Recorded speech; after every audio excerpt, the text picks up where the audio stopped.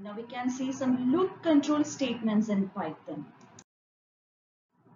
What is loop control statement? Loop control statements change the execution from its normal sequence. Normally loop iterate over a block of code until the test expression is false or in case of for loop until the sequence becomes an int. Loop control statements helps to terminate the current iteration or even exit the loop. Python supports three loop control statements, break, continue and pass. Python break statement. It terminates the current loop and resumes execution at the next statement just like traditional break statement. The next statement is a statement after the loop.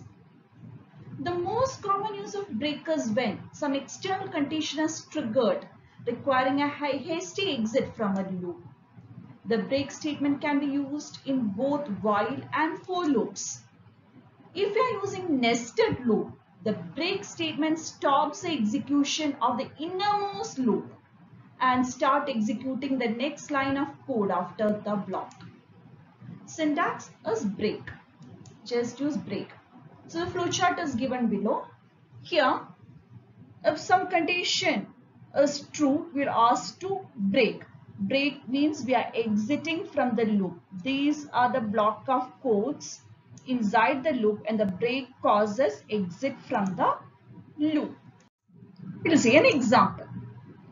Here we are iterating through a set of characters or a string Python and when the iterating variable encounters the character h, we are asking the system to break the loop. Otherwise, we'll ask the system to print the current letter. Let us see the output. For letter in Python means iterating variable is letter and we are iterating to the string Python. So initially letter will be assigned value p. So if letter equal to h, it is false. So what we are doing, we will print the current letter P. See the break is again intended since the break is a part of or a statement inside this if, if statement.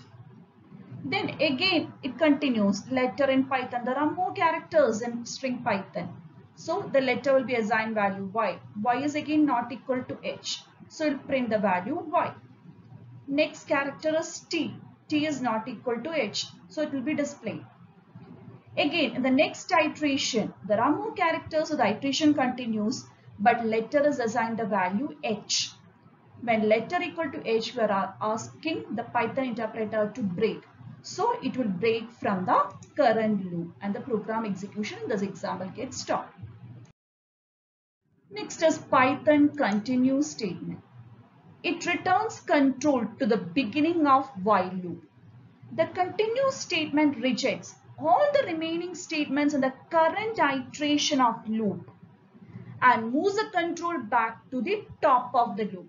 It doesn't exit from the loop, it just emits few statements in the current iteration. Again, this continue statement can be used in both while and for loops. Syntax is just use keyword continue. Flowchart is like this. If any anywhere the continue is encountered, this block will be or this sequence block will be emitted and it will check for next condition go for next iteration in the loop. An example the same example for letter in python. If letter equal to h we are not asking the system to break but we are asking to continue. See the result the character P will be displayed, Y will be displayed, T will be displayed when the letter is assigned value H. If letter equal to H, we are asking system to continue.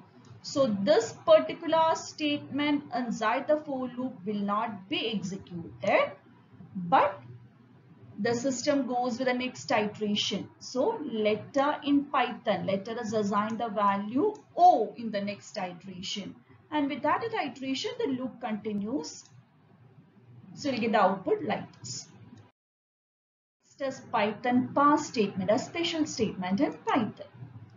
It is used when a statement is required syntactically but you do not want any command or code to execute for that time.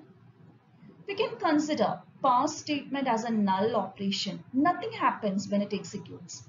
That's the meaning of null operation. And what's the major difference between commands in Python and pass statement? Python interpreter ignores a comment statement entirely, but pass statement is not ignored, but it results in a no operation statement. It doesn't mean that we are ignoring the statement, just a no operation. Nothing is operated at that time. This figure shows correctly how the pass statement work. When a normal statement is given to a compiler, what does it do? It performs execution. But when a pass statement is encountered by interpreter, no operation is performed. That's the difference between a normal execution and a pass. So pass statement is used as a placeholder for future code. Currently we have nothing to do. Its implementation can be added in the near future.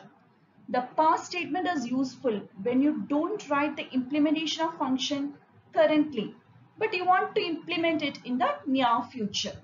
Syntax is just to use the keyword pass. Same example. When the letter H encounters, we are asking to pass. See, here pass means that particular statement won't be executed, but this is a pass block. That particular message is displayed here. But does it mean that the current letter is not print? We got P, Y, T of letter equal to H. We are asking the system to perform nothing now. But the next statement and the program will be executed. That is printing this is a pass block. After that, the execution continues normally. That is, we are asking the system to print the letter H. So here pass means nothing is performed, no operation is performing for that moment. And these three are loop control statements in Python and they are break, continue and pass. Thank you for now.